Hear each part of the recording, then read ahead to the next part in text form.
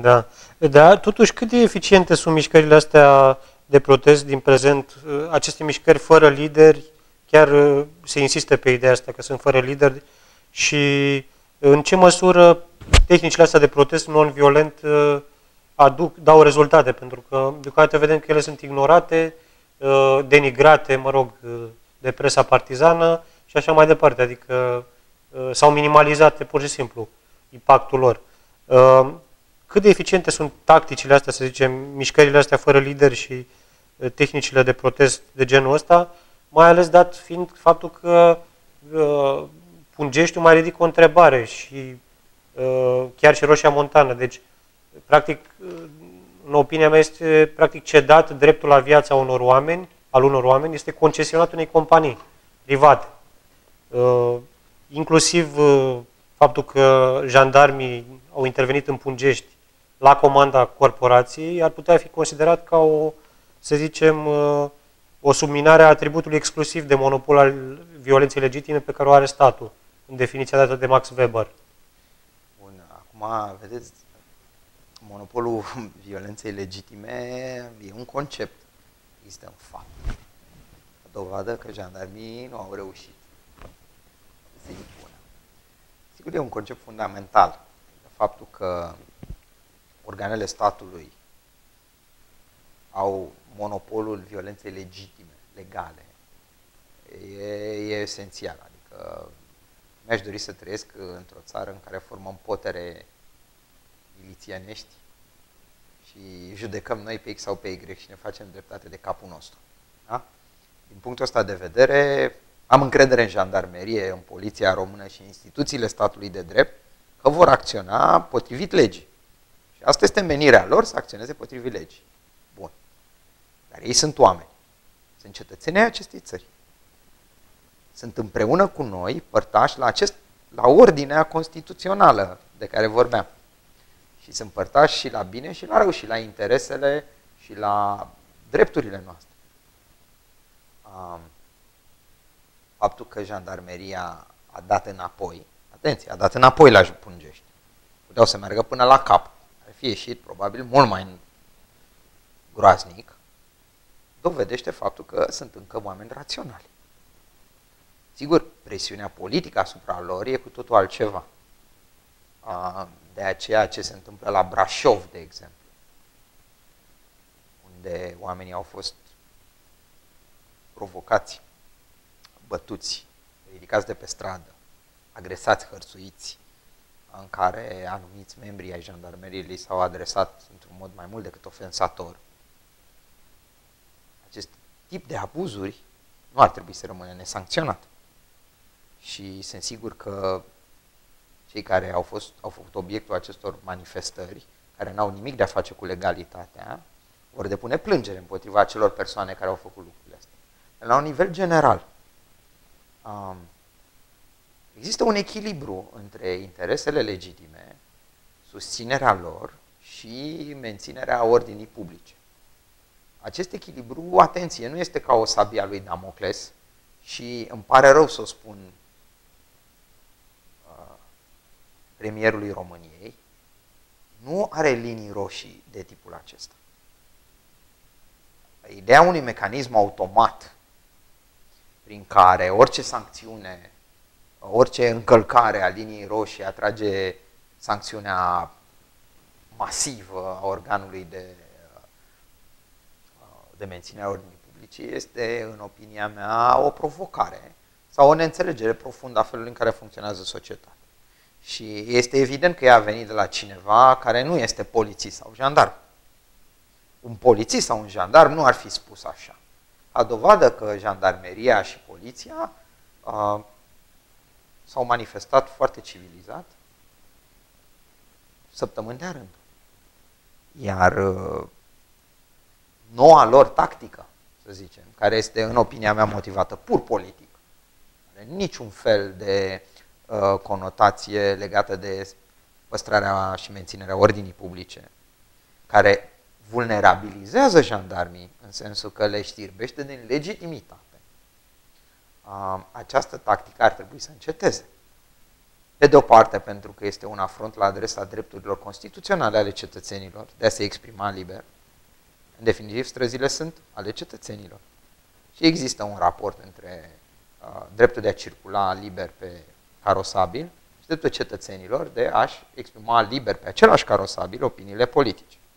Nu vorbește nimeni de blocarea unui oraș întreg timp de patru săptămâni, în așa fel cât cetățenii, ambulanțele, transportul în comun să nu ajungă la servici, la spital și așa mai departe. Deci este absolut ridicol să insinueze așa ceva. Chiar și la Pungești. Despre ce vorbim? Oamenii aceia nici nu erau pe carosabil. Oamenii aceia erau în șanțul de lângă carosabil. Acest gen de mistificări aparțin unor epoci de mult apuse. Sper. Um, jandarmeria e con... jandarmeria, factorii de decizie, trebuie să urmărească ei înșiși legalitatea acțiunilor lor. Și din punctul acesta de vedere, ă, Constituția ne dă dreptul și obligația de a apăra legile statului. În momentul când legile statului sunt puse sub semnul întrebării, este datoria noastră cetățenească de a le apăra în modul nostru, în modul nostru non-violent. Ă, faptul că noi încercăm să atragem atenția acestor chestiuni recuperând spațiu public, da? Strada e un spațiu public, noi îl recuperăm. Atenție, fără violență, fără provocări, păstrând întotdeauna, dar întotdeauna posibilitatea serviciilor de urgență să-și desfășoare activitatea, ba chiar permițând transportul în comun să treacă. Deci, au fost nenumărate cazuri în care, de exemplu, troleibuzele au trecut printre protestatari la uh, Bulevardul Elisabeth. S-au blocat Bulevardul Elisabeth. Să revenim la problema de fond. Eu cred că guvernul se angajează pe o pantă alunecoasă foarte periculoasă. De ce? Pentru că pur și simplu strategia de a provoca pentru a sancționa prezintă riscul extraordinar de a provoca mai mult decât poți stăpâni. Deocamdată nu au existat reacții foarte, să zicem așa, extinse ale asemenea abuzuri, pentru că o lumea nu le cunoaște și oricum ele sunt prezentate de uh, media într-un mod mai mult decât părtinitor. Dar în momentul când ele se vor generaliza, în momentul când uh, ele se vor, uh, vor trece la nivelul violenței propriu-zise, Până acum au fost câteva îmbrânceli. Da? Și o lunetă spartă mai mult sau mai da, puțin da, da. greșeală. Uh, pretext ridicol. O asemenea desfășurare de forță. Uh, oamenii vor afla și oamenii nu vor mai înghiți această stare de lucru. Și riscul guvernului este să-și scoată în stradă nu 200 de mii de oameni, ci câteva milioane de oameni. În loc să înțeleagă faptul că protestatarii dau o mână de ajutor guvernului să-și îndeplinească îndatoririle publice. Și apropo de lipsa de efect a manifestărilor. Lipsa de efect a manifestărilor este doar aparentă. Eu aș spune că aceste manifestații au fost cele mai eficiente de până acum. Vă spun imediat de ce. 1. Pun guvernul în imposibilitatea de a-și cumpăra liniște. Nu are cu cine să negocieze, nu are cu cine, nu are pe cine să aresteze. Bun, l-a arestat, s-a arestat pe ghilimele, a făcut dosare câtorva oameni. Oamenii aceia nu sunt esenții.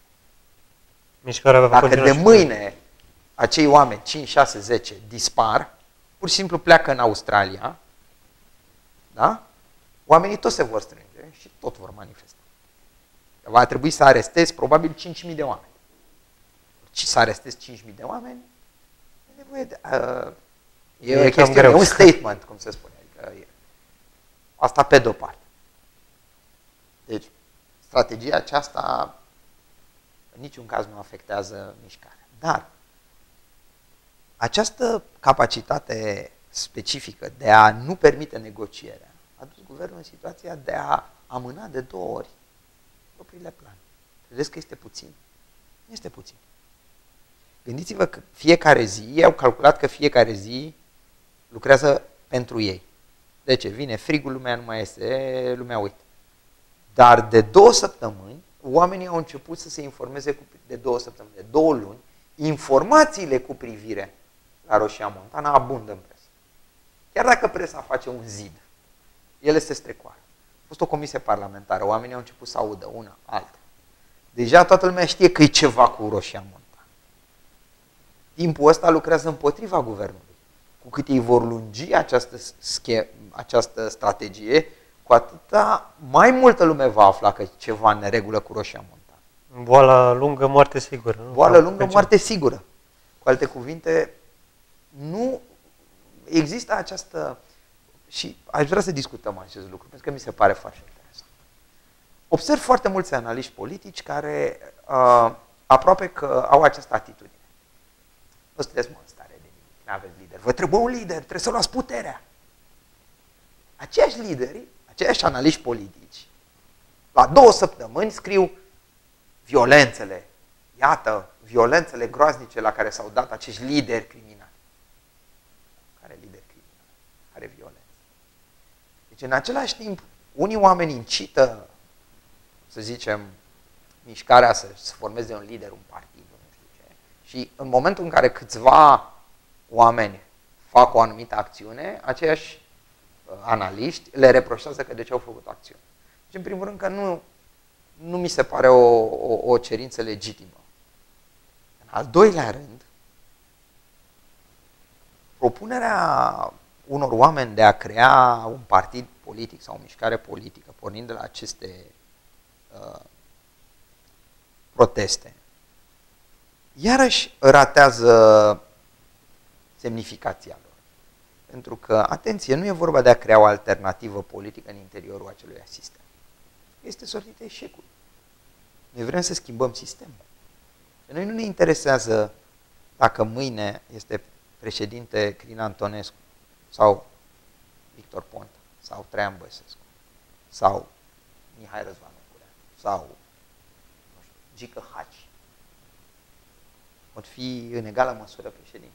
Problema ca este ca ei să nu mai beneficieze de acest sistem de impunitate și imunitate față de interesele alegătorilor lor. Cu alte cuvinte, ar fi și contraproductiv să se nască lideri. Dacă credeți că îi veți determina să facă asta, adică e, până la urmă, și poate nota asta uh, se pune întrebarea dacă, practic, reformarea asta a clasei politice actuale nu e o utopie. Reformarea clasei politice uh, este o utopie. Dar noi nu vrem să reformăm clasa politică. E un lucru natural. În primul rând, procesul de selecție al antreprenorilor politici e într-un anumit fel. În orice țară. E la fel în Rusia, cum este în Corea de Nord și cum este în Olanda. Dar care e diferența între Rusia, Corea de Nord și Olanda? Sistemul instituțional. Drepturile, libertățile, limitele democratice ale exercițiului puterii. Dacă eu vreau acum să-l schimb pe Victor Ponta cu Marian Vanghelie, ce am rezolvat? Dar dacă îl schimb pe Marian Vanghelie cu Claudiu Crăciun, ce am rezolvat? Dacă îl schimb pe Claudiu Crăciun cu Alina Mungiu Pipidi, ce am rezolvat? Dacă îl schimb, o schimb pe Alina Mungiu Pipidi cu Patriarhul Daniel, ce am rezolvat? În secunda 2 vor fi prizonierii acelui tip de logică instituțională, ca Ion Iliescu, Traian Băsescu, Păi și atunci care e soluția? Că... Păi, soluția nu este schimbarea clasei politice la nivel de persoane și de generații. Victor Ponta e expresia cea mai elocventă a acestui eșec fundamental. Dan Șova. Expresia elocventă a acestui eșec fundamental. Mihai Răzvan Ungureanu. Expresia elocventă a acestui eșec fundamental. Oricare dintre acești trei oameni, acum 20 de ani ar fi fost priviți ca o speranță, nu? de schimbare a României. Bun. Iată că ei au dat, să zicem așa, proba excelenței în războiul politic. Bun, și ce au schimbat? Ideea aceasta că înlocuind oamenii pot schimba instituțiile e la fel, e, atenție, la fel de periculoasă ca ideea că schimbând instituțiile o să schimb oameni. Nu funcționează așa. Și de aceea, acest tip de nerăbdare revoluționară care îi cuprinde brusc pe unii dintre analiști politici, mi se pare cel puțin rizibilă. Aceste proteste sunt începutul unui proces îndelungat în care se vor schimba și instituții și oameni. Nu vor veni alți oameni parașutați din Republica Virtuții. Tot Marian Vanghelie va fi, tot Liviu Dragnea va fi, tot Viorel Hrebenciuc va fi, tot Radu Mazăre va fi. Da, va fi un Dragnea, Mazăre, Hrebenciuc, Vanghelie, care nu vor mai face, pentru că nu le permit instituțiile, pentru că nu le permit oamenii, pentru că ei înșiși gândesc altfel lucrurile pe care le-au făcut predecesorii. Ideea aceasta că există o baghetă miraculoasă pe care o are cineva, cu care schimbăm societatea așa cum un magician scoate în loc de iepurele albastru iepurele roșu, ar trebui să dispară din mentalul colectiv. Ideea regelui călare pe calul alb, descălecătorul care vine și când va veni măria sa, premulți îi va popi și el. Nu există în realitate așa ceva. Societatea trebuie să fie pregătită pentru o lungă confruntare cu această clasă politică, din care se va schimba și clasa politică, și societatea, și instituțiile care mediază între clasa politică și societate. Deci nu există o soluție miraculoasă. Toată lumea speră, atenție, nejustificat, fie că protestele vor muri, nu vor muri. Poate vor muri în forma asta. Se vor găsi alte forme. O problemă structurală, nu e o problemă conjuncturală. Sau, pe de altă parte, că ele vor izbândi într-un mod uh, spectaculos, schimbând toată societatea. Nu vor izbândi într-un mod spectaculos. Nu au cum să izbândească într-un mod spectaculos. Și e un proces de durată. E un proces de durată și aș mai vrea să spun ceva. Sunt foarte, personal sunt deranjat de opiniile unor oameni care vor să-și rezolve toate frustrările acumulate în 23 de ani prin uh, acțiunea celor care ies în stradă. Da? Deci cumva uh, oamenii reproșează protestatarilor că nu includ în agenda lor reforma justiției, reforma sistemului, reforma pinguinilor, uh, cum să spun eu, legea lustrației și așa mai departe, în mod explicit. Bun. Uh, nu, nu se poate ca o singură generație sau un singur grup de oameni să rezolve toate problemele unei țări întregi acumulate în 45, 23, 5 ani, 10 ani. E, e practic imposibil. Nu poți să le ceri reprezentanților uh, protestatarilor da. să includă și problema pădurilor, și problema apelor, și problema călătorilor spațiale și problema ale galaxiei. Pentru că nu ești rezonabil. Ce e rezonabil aici? Rezonabil este faptul că există o conștiință civică. Această conștiință civică, atenție, unește grupuri foarte diferite. Să stea la aceeași masă minoritatea homosexualilor, cu asociațiile creștine, naționaliști, cu altercapitaliști, altermondialiști, să vorbească pe același, pe aceeași limbă, preoții de la țară și activiștii ecocivici. E un lucru extraordinar. Nu s-a mai întâmplat în această societate care este bolnavă de ură, de indiferență, de egoism, de suspiciune. Îți trebuie un efort mental, îți trebuie un efort foarte mare să treci peste ură, peste suspiciune, peste neîncredere, să, te, să încerci măcar a te manifesta coerent pe o anumită cauză, o cauză care îi privește pe toți cetățenii români. Din punctul ăsta de vedere, și chiar și dacă ar fi numai acest punct, acest protest este cel mai de succes protest care a fost până acum. Sigur că și el este sub semnul acelorași probleme fundamentale a României. Când s-au înțeles români? Când au fost ei uniți? Când au reușit ei să se impune în fața răului manifestat de diversele forțe oculte, absconse, uh, reprezentate în propriul lor guvern? Bun, am mai pierdut, am pierdut și la 1848, am pierdut și la 1877, am pierdut și la 1919, am pierdut și la 1939. Am pierdut. E un șir lung de pierderi, dar din care am câștigat. De fiecare dată am pierdut ceva și am câștigat ceva și am mers mai departe. Aceste proteste sunt o etapă. O etapă, zic eu, salutară în dezvoltarea sănătoasă, organică a societății românești și a conștiinței, conștiinței civice românești. Nu am așteptări extraordinare. Nu cred că noi îl vom da jos pe pont. Bun. Da? Are 70%. Dacă Ponta o să pice, o să pice pentru că s-a certat cu Antonescu. Și ei s-ar fi certat oricum. A, nu fac iluzii că uh, Crin Antonescu se ceartă cu Victor Ponta. Din cauza mișcării de protest. Din cauza roșiei montane. Nu. Ar fi o naivitate din partea mea să cred. Ei s-ar fi certat oricum. Cum? Se vor fi împăcat oricum. Și observați că s-au făcut toate combinațiile posibile. Ponta cu Băsescu, Băsescu cu Antonescu, Antonescu cu Ponta. Au, nu mai au combinații, au făcut tot ce se putea combina. Dar asta e politica, adică eu nu înțeleg de ce oamenii sunt șocați de așa ceva. Asta e politica. Ei fac treaba lor, noi facem treaba noastră. Treaba noastră este să le atragem atenția că nu lucrează în interesul nostru național. Treaba lor este să găsească soluții la problemele țării. Noi suntem o forță reactivă, nu suntem o forță activă.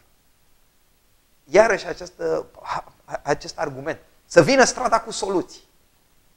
Domnilor, o secundă, eu sunt clientul.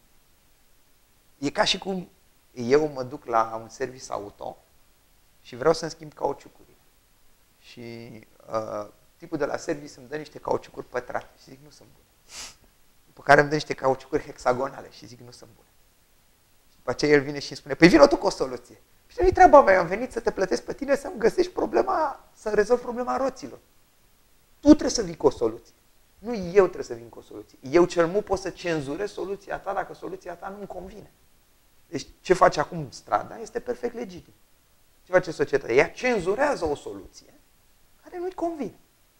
Soluția la ce problemă ați putea să întrebați? Păi, se vedea cum problemă. Avem o gaură la buget enormă și avem o economie nesustenabilă. Și ăsta este motivul adevărat pentru care guvernul actual al României și guvernul de dinaintea lui și guvernul de dinaintea lui și guvernul de dinaintea lui au girat acest proiect mai mult decât nefast de la Roșia Montană. Și acesta este motiv. Pentru a umple această gaură a bugetului sau ca să înțelegem în mod fictiv această gaură a bugetului. Și atenție, nu din banii obținuți de la Roșia Montană, nu, ci din bani împrumutați în contul eventualelor beneficii pe care le-ar obține statul român exploatând Roșia Montană. Deci problema nu este că guvernul actual sau guvernul de dinainte va supraviețui cu banii scoși din Roșia Montană. Nu. El trebuie să se împrumute pe o piață și el va garanta acest împrumut pe care tot noi îl plătim cu eventualele beneficii mai mult sau mai puțin iluzorii din acest proiect. Ori, acum înțelegeți de fapt de ce ne revoltăm. Pentru că noi ne revoltăm acum pentru un deal foarte prost. Este un deal extrem de prost, în care noi pierdem patru munți, galeriile de la Roșia Montană, ne trezim cu un lac de ceanură și nu avem de fapt niciun beneficiu. Pentru că banii sunt împrumutați, acum trebuie să-i plătim înapoi. Beneficiul ăsta e aproape insignifiant în raport cu... Adică vă referiți la uh, impozitele pe care le-ar plăti RMGC în cazul în care impozite și taxe. Care... Impozitele și taxele, așa zise impozite Pentru că oricum... Taxe, uh, or, oricum statul român se... nu umple gaura de buget cu banii de la RMGC. Și oricum aurul revine canadienilor și nu României. nu contează cui aparține aurul. Eu aș vrea să dau aurul oricui, să-l vând pe piața liberă. Dar aș vrea să fac proiectul ăsta pe piața liberă. Vorbesc pur economic. Da? Da. Există și rațiuni economice pentru care acest proiect este aberant. Și tocmai aceste rațiuni economice au început să iasă acum la iveală. Rațiunile de mediu le știe toată lumea, rațiunile uh, de patrimoniu le știe toată lumea, rațiunile care țin de respectul proprietății private le știe toată lumea, dar Nu, ni se vindea această gogoașă cum că rațiunile economice sunt mai puternice decât toate acestea la un loc. Iată că rațiunile economice sunt cele care ar trebui să impună blocarea proiectului. Faptul că noi ne-am revoltat și foarte multă lume pentru multiplele aspecte negative ale acestui proiect, nu este, cu mai puțin, este, nu este mai puțin important decât faptul că proiectul în sine economic este un dezastru. Da. Domnule Laurențiu Gheorghe, vă mulțumim mult și vă mai așteptăm pe la noi.